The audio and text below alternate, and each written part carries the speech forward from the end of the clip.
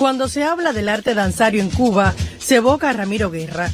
Con un alto nivel técnico y artístico, él se apropió de elementos clásicos y modernos, descubrió la fuerza y vitalidad de las esencias africanas y protagonizó un movimiento de renovación cultural sin precedentes desde la búsqueda de la identidad.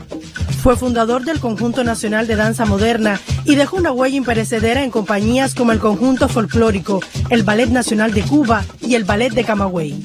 Todo él lo mezcló, el íreme, changó, ochun, la rumba, fue lo que fue mezclando dentro de la técnica de Graham, que fue la que él trajo aquí a Cuba.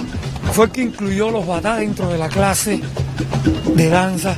Empieza a mezclar nuestros estratos de la nacionalidad, blanco con negro, con mestizo, porque él planteaba ya desde un inicio de que su danza, de que nuestra danza tenía que ser una danza con características propias e identitarias cubanas. Pero ahí inicia una búsqueda ya más concreta desde el punto de vista de, la, de etnología, de la etnografía, del folclore. Pero, y esa labor investigativa se viene a concretar realmente sobre 1965, cuando van a la calle eh, Lorna Bursar, Manuel Irán, eh, Ramiro Guerra, y empiezan a, a, Elena Noriega, empiezan a observar y a buscar cómo se mueve un cubano. El documental Ramiro Guerra, Siempre la Danza, de Yuris Nórido y Adolfo Izquierdo, y producido por el Ministerio de Cultura, el Consejo Nacional de Artes Escénicas y Danza Contemporánea de Cuba, se presentará próximamente.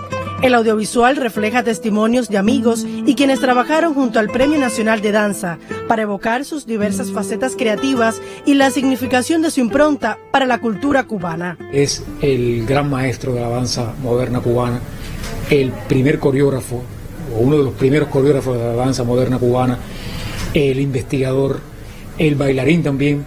En este documental no habla Ramiro, habla mucha gente sobre Ramiro.